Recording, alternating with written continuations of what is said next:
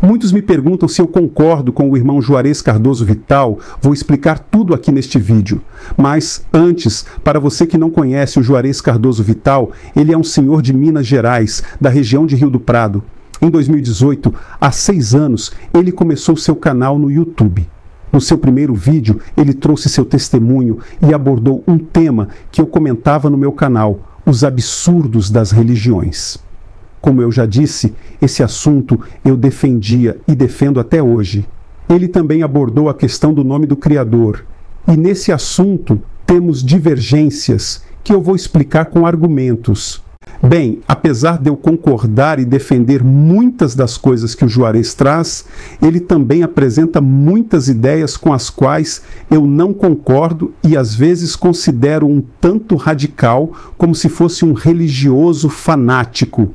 Primeiramente, quero deixar claro que amo o irmão Juarez. Não estou menosprezando sua fé, ironizando ou criando contenda, ok? Que fique bem claro.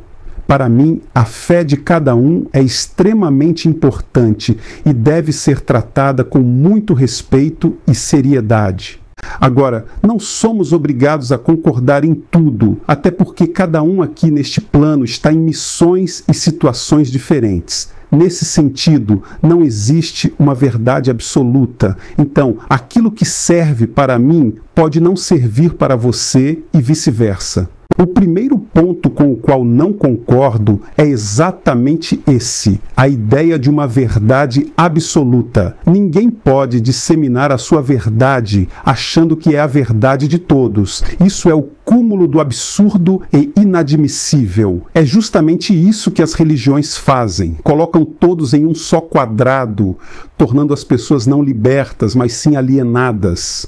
O segundo ponto é a questão de atribuir um nome terreno a algo que jamais será medido, calculado ou contado como se fosse um ser, como um homem ou qualquer coisa deste plano, que é um dos mais inferiores. Veja a resposta que Caio Fábio deu a um jovem sobre esse assunto. Tudo isso é bobagem, como você disse, só serve para criar confusão. Então, o nome de Deus é impronunciável. Quando Moisés perguntou a quem eu direi que me enviou ao Egito para libertá-los, Deus disse a Moisés: Dize que eu sou te enviou. Eu sou te enviou. Não existe nenhuma ênfase no Novo Testamento com relação ao nome de Deus. O nome de Deus não é um conjunto de letras. Quando se fala no nome de Deus, no nome de Jesus, se está falando no poder que está acima de todas as coisas, com nome ou sem nome. Você acha que Deus atende por um nome? Deus não atende por nome nenhum, ele lê corações. Ele não é um especialista em linguística e em vernáculo, em nomenclaturas, que diz: não, se não pronunciarem o meu nome, eu não responderei. Afinal, se Deus tem um nome, esse nome começou há muito pouco tempo a ser chamado, tratado e mencionado, desde que os humanos surgiram, que foi outro dia que os humanos chegaram aqui do planeta. E com essa ideia de dar nome a Deus, todos os povos deram, mas essa tradição semítica, hebraica, judaico-cristã que chegou até nós é muito recente, é um negócio de 5 mil anos, é outro dia, comparado com, com a criação, que não tem, a gente diz que o nosso universo tem 14 bilhões de anos. Isso é só esse universozinho da gente aqui. Agora, os multiversos, os universos, as criações de Deus, as civilizações de anjos, de arcanjos, de todas as criaturas múltiplas, que são verdadeiras civilizações de criaturas de outra natureza, de outro tipo, de outras aparências, de outras lógicas, de outros raciocínios. Isso começou infinitamente antes de aparecer qualquer homem. E não está em discussão o nome de Deus. Todos esses seres que nos antecederam nas criações anteriores de Deus sabem que Deus é Deus e que ele não é não cabe em nenhum conjunto de letras e nem sons. O nome de Deus só é uma concessão divina para a pequenez humana que não sabe se relacionar sem nomear.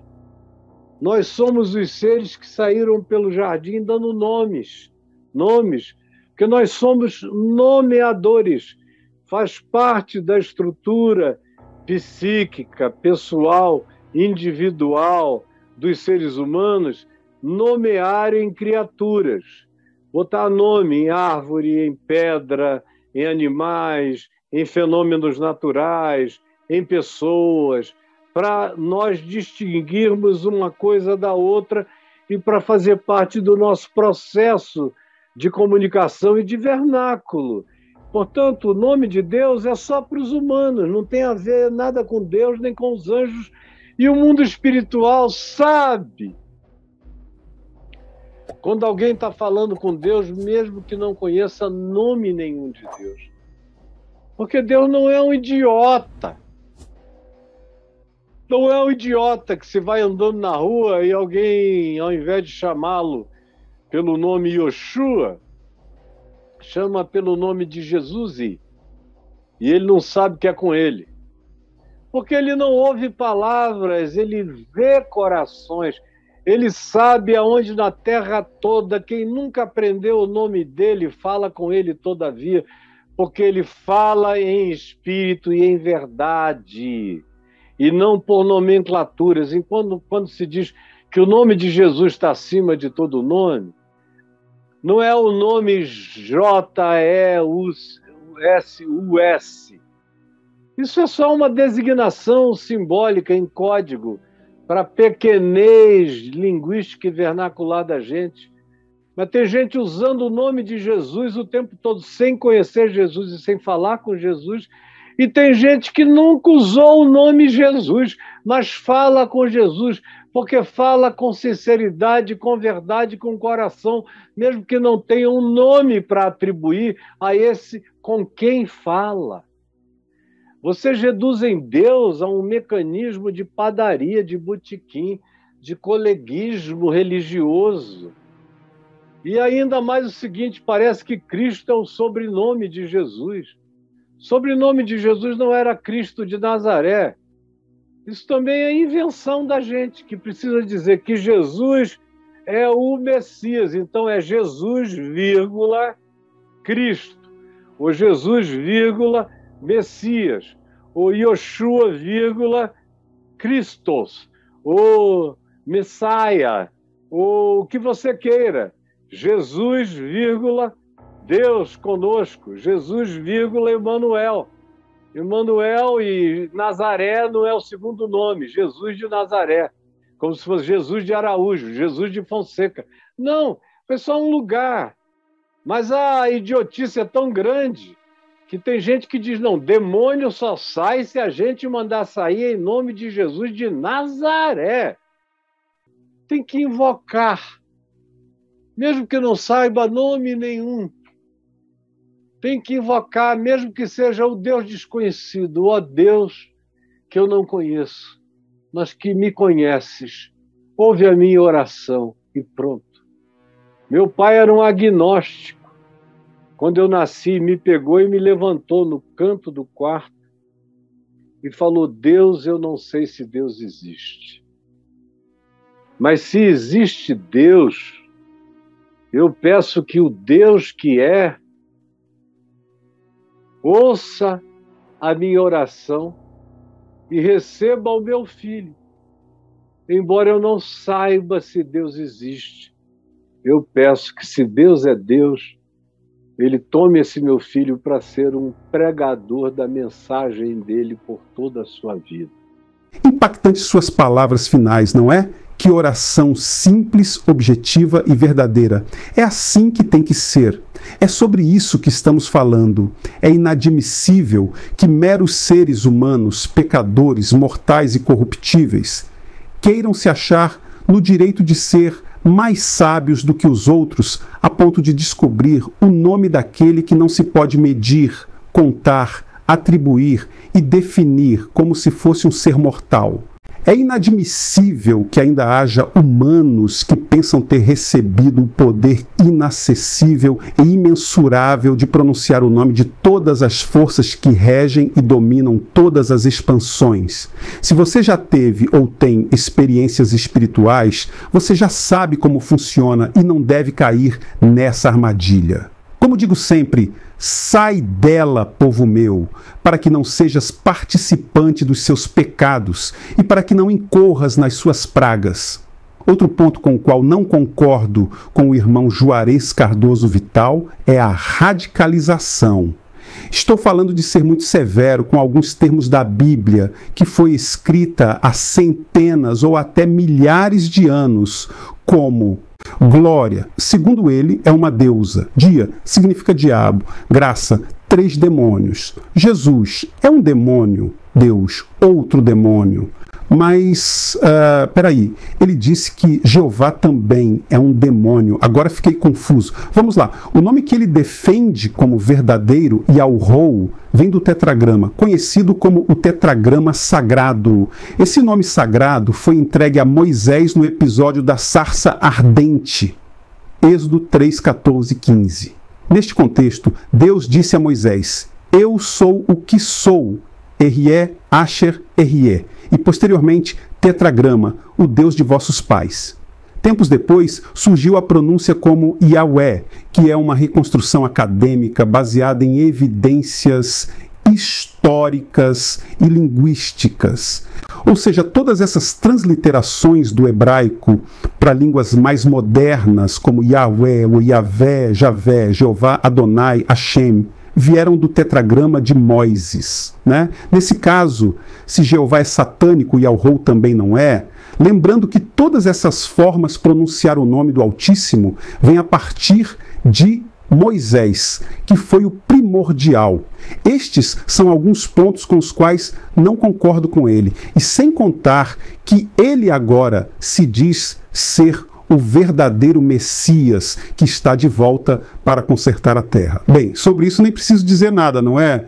Eu quero perguntar para o Juarez se ele sabe que a origem do tetragrama que ele tanto defende veio de Moisés. Se sim, ele ainda cumpre as leis de Moisés, porque Jesus criticou de forma dura os escribas e fariseus que seguiam as leis de forma severa. Fechando esse bloco, todos os que defendem o tetragrama de Moisés também estão junto com todas as outras transliterações que ocorreram no passado até os dias de hoje. Não adianta questionar, é só analisar e pesquisar. Está aí para todos verem. De Yahvé a Jeová até o Yahweh de Juarez dos dias de hoje são a mesma coisa. Você sabia disso? Outro ponto muito curioso é que os profetas de Israel, incluindo Elias, insistiram na adoração exclusiva de Yahvé e condenavam os cultos a outros deuses, alegando ser idolatria. E seguiam o sincretismo religioso, chamando o povo de volta à fidelidade à aliança com Yahvé, conforme estipulado na Torá. Isso soa um pouco como intolerância religiosa, não? Bem, vamos em frente. Agora veremos o ensinamento do profeta, o Messias. Apesar de a Bíblia afirmar que Jesus não veio abolir, mas sim cumprir as leis de Moisés, suas ações e práticas mostram o contrário. Vejamos. Mateus 12, 1 a 8. Naquela época, Jesus passou pelas lavouras de cereal em um dia de sábado. Seus discípulos estavam com fome e começaram a colher espigas e comê-las. Assim que os fariseus viram aquilo, disseram-lhe: Vê, teus discípulos estão fazendo o que não é lícito em dia de sábado. Mas Jesus lhes respondeu: Não lestes o que fez Davi quando ele e seus companheiros estavam com fome? Como entrou na casa de Deus e comeram os pães da presença, os quais a lei não lhes permitia comer, nem a ele, nem aos que com ele estavam, mas exclusivamente aos sacerdotes?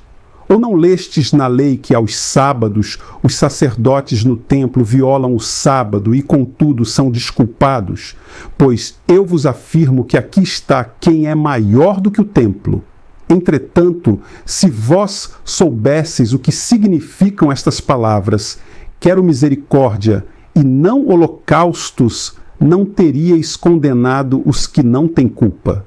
Em Lucas 13, 10 e 17, Jesus cura uma mulher no sábado e critica os líderes religiosos por condenarem a cura como uma violação do sábado, reafirmando que é apropriado fazer o bem e aliviar o sofrimento, mesmo no sábado. Em Mateus 19, 3 e 9, Jesus fala sobre o divórcio e critica a permissão dada por Moisés para o divórcio. Mateus 23, Jesus critica os fariseus e escribas por sua hipocrisia e legalismo. E há muito mais onde Jesus critica as leis de Moisés. Minha pergunta é: será que Jesus obedecia às leis de Moisés? Será que ele estava de acordo com o Yahvé de Moisés? You shall not see me here again. Not until you learn to cry. E para finalizar, quantas vezes você viu Jesus pronunciando o tetragrama de Moisés? Acho que isso basta para responder aqueles que me perguntam se concordo com o irmão Juarez. Espero que tenha gostado. Repetindo, o intuito não é menosprezar ou diminuir a fé de ninguém, e sim trazer reflexão e outro ponto de vista sobre o assunto. Eu vou ficando por aqui. Um forte abraço e até o próximo vídeo com mais um assunto interessante. Obrigado por assistir. Não esqueça de deixar o like e comentar. Inscreva-se e até a próxima.